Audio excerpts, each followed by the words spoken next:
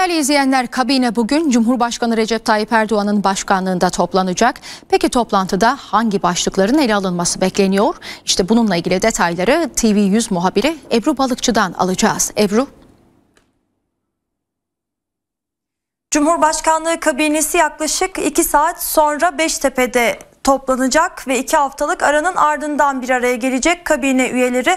Cumhurbaşkanı Erdoğan başkanlığındaki toplantının önemli başlıkları olacak. Dün Cumhurbaşkanı Erdoğan Macaristan'a günübirlik bir ziyaret gerçekleştirmişti. Orada ikili görüşmeleri vardı. O görüşmelerden yansıyanlar bugün 15'te başlayacak olan kabine toplantısında değerlendiriliyor olacak. Bir diğer önemli madde ekonomi. Ekonomi vatandaşı en yakından ilgilendiren konulardan biri beklentiler var. Hükümetin çalışmaları da var. İlgili bakanlıklarda çalışmalar devam ederken süreçlerde hangi aşamaya gelindi bu konuda yine değerlendiriliyor olacak. Enflasyon ve faiz fiyat artışlarıyla mücadele için hükümetin aylardır çalışmaları var. Peki hangi aşamaya gelindi? Bundan sonra ne gibi bir adım atılacak? Hayat pahalılığının azaltılması adına bu konu görüşülüyor olacak ve memur maaşlarını da yine yakından ilgilendiren, memurları yakından ilgilendiren bir süreç var.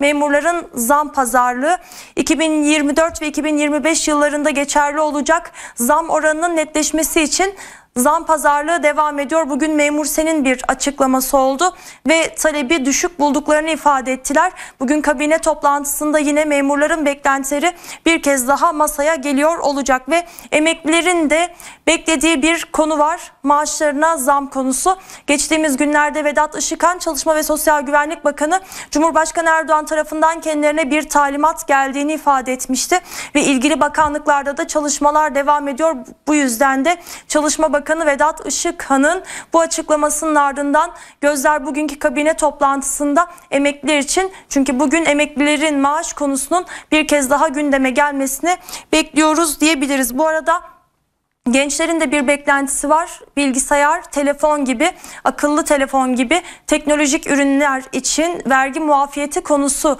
söz konusu ve aynı zamanda AK Parti'nin seçim vaatlerinden biriydi. Bu konudaki çalışmalarda son değerlendirmelerde kabine toplantısında ele alınıyor olacak ve dış politikaya baktığımızda ise bir süredir Kıbrıs'ta bir gerilim var. Kuzey Kıbrıs Türk Cumhuriyeti'nin e, Pile Yiğitler yolu yapımına başlamasının ardından e, orada Birleşmiş Milletler'le bir gerilim yaşanmıştı ve ardındansa Cumhurbaşkanı Erdoğan'ın Kıbrıs'ta Kıbrıs için vereceği mesaj merak konusuydu. Bugün bu konunun gündeme gelmesini bekliyoruz. Kabine sonrasında da Cumhurbaşkanı Erdoğan'dan bir Kıbrıs mesajı alabiliriz ve Cumhurbaşkanının bir aylık bir e, diplomasi trafiği olacak. İlk olarak Hindistan'da G20 zirvesine katılacak. Yine Eylül ayı içerisinde de bir diğer adresi Amerika Birleşik Devletleri olacak. Orada da Birleşmiş Milletler Genel Kurulu'na gidiyor. Cumhurbaşkanı Erdoğan bu iki ziyarette bugünkü e, kabine toplantısında masaya gelecek konulardan biri ve son olarak da